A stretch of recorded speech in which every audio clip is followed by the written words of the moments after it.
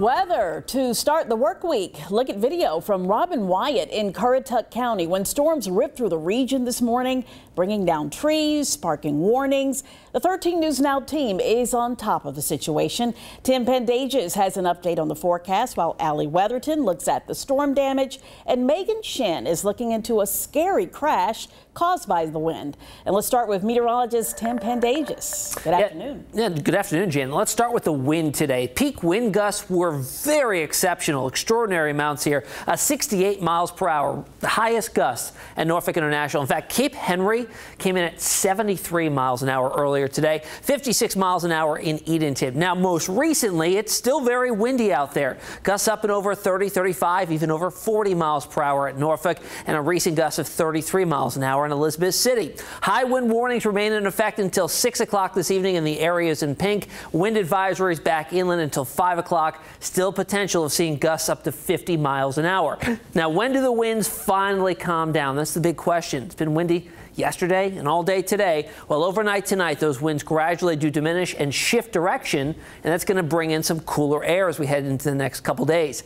80 degrees outside. There's actually a bit of a heat index. It feels like 81 because we have dew points that are in the 60s. It feels like late June, early July out there. 79 in Newport News, 75 out in Hertford, 82 now in Williamsburg, 78 in Elizabeth City. Radar is now quiet after a very uh, very action-packed morning, and that has all moved off to the east. Skies have cleared on out, and we're going to see a pretty nice after rest of the afternoon and early evening with clearing skies building back in. We'll talk about the cooler air coming our way for tomorrow and Wednesday, and more rain chances too in just a few minutes. Jen? All right, Tim. Thank you. Well, the damage from this morning's storm is widespread and pretty bad in some spots. Oh my goodness! Look at that pickup truck crashed under a tree that came down in Thalia in Virginia Beach.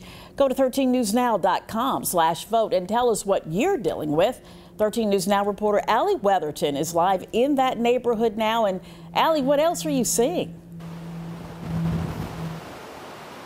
Well, Janet, I have to tell you, tree service companies are extremely busy today. Take a look at this huge tree trunk right here. That actually fell on that garage right there off of Clintwood Drive. A neighbor tells me a woman just bought this house last Tuesday. This is the same street where you just saw that crushed pickup truck. And down the road, a huge tree fell on this home, leaving damage. There is a lot of damage there. The roof is caved in, and so is the front porch. Neighbors say three people were inside, and thankfully, were not hurt. Pat Dowd, who lives in Thalia, has lived in Thalia for over 30 years, he says he heard a bunch of loud noises and assumed tree limbs fell on his roof. He came outside to a mess.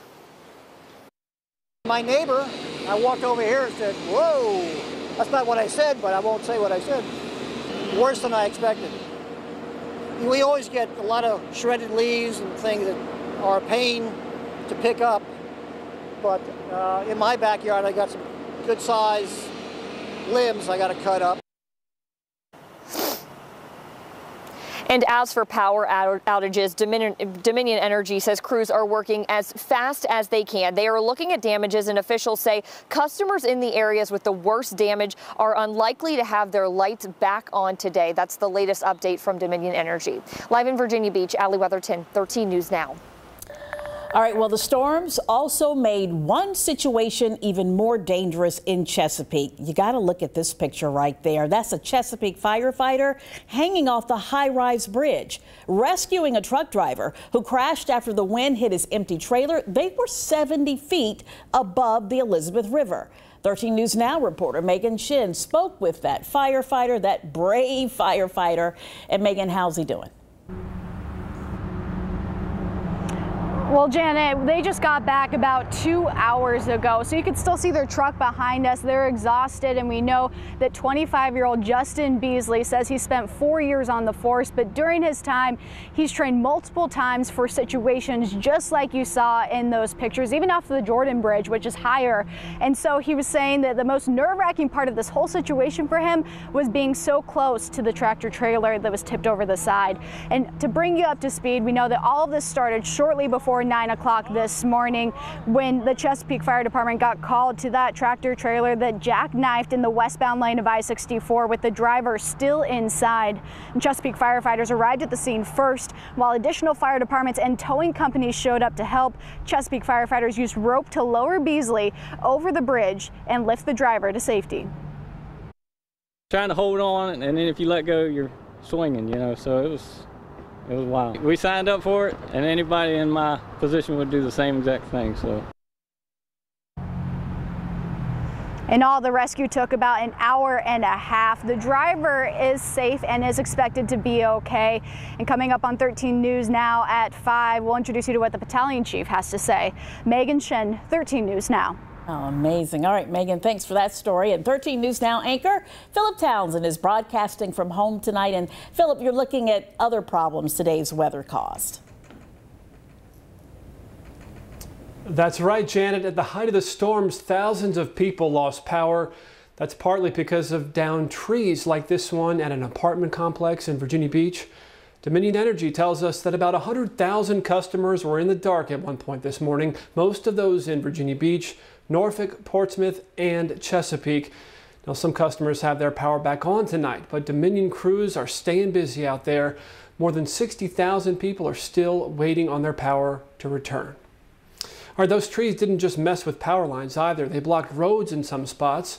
Viewer Christine Spute sent in this video from Kempsville Road between Indian River and Providence.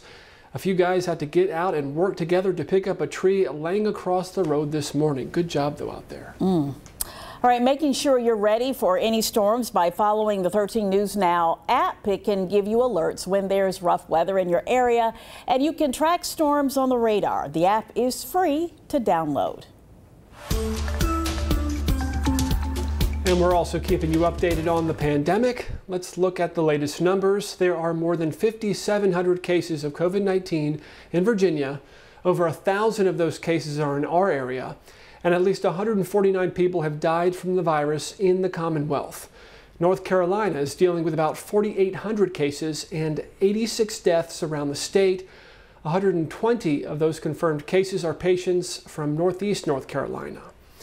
Now, this afternoon, governors from both states, states sending uh, updates about their response efforts 13 News Now anchor Brian Farrell is here with the latest. And Philip, let's start off with Virginia's governor. Ralph Northam said state leaders will be getting some of their information from the University of Virginia. Northam said UVA is putting out modeling data that is specific to the state. Up until now, a lot of our information is becoming or has been coming rather out of the University of Washington. The data from UVA will include estimates for when we'll see a peak in cases and how our hospitals will handle it. It also predicts how social distancing is working. Northam says the models show that now isn't the time to ease up on it. But this model also demonstrates that if we lift the stay at home order or social distancing too soon, if we try to rush to get our lives back to normal, the number of cases will spike higher and earlier. North Carolina Governor Roy Cooper just wrapped up his news conference a short time ago. He reminded people stores will have new limits on the number of customers they can have inside them starting tonight. Janet, back to you. All right, well, tonight, a change in the way you file for unemployment. The number of claims has skyrocketed since the start of the pandemic. Now, the Virginia Employment Commission is no longer requiring workers to use PINs to file weekly claims for benefits. 13 News Now investigative reporter Evan Watson explains why this should help filers get benefits faster. Last Tuesday, we reported how many Virginians said they were delayed in receiving benefits because they were delayed in receiving their PINs. Now, VEC is changing its system so workers don't have to wait on a PIN to then file for those continued or weekly benefits. Still, thousands of Virginians are filing for unemployment each day in Virginia, sometimes waiting hours to talk to representatives. Furloughed worker Derek Bowie says his first claim wasn't processed correctly, and after multiple days of calling to check, he was told to file another, resulting in missed days of benefits. He says the system needs to be more robust, and he worries about thousands of people who are missing out because of systemic error the enormity of this situation. This pandemic has changed the way we live, and the, the amount of uh, claims being, you know, applied for is just enormous. And I know that it's putting a strain on systems that were probably never intended to handle the volume we have. But it was just disappointing to me that they acknowledged to me that they had a system problem that couldn't handle the volume and that basically I lost four days of benefits. Bowie says he should receive his first uh, period of benefits on Wednesday, but at this point, he's not very confident. Now, VEC did add about 20 workers to answer this influx of calls last week, and VEC tells me they're also sending out automated texts now to let people know that their claim has been received. Reporting live in Norfolk, Evan Watson, 13 News Now.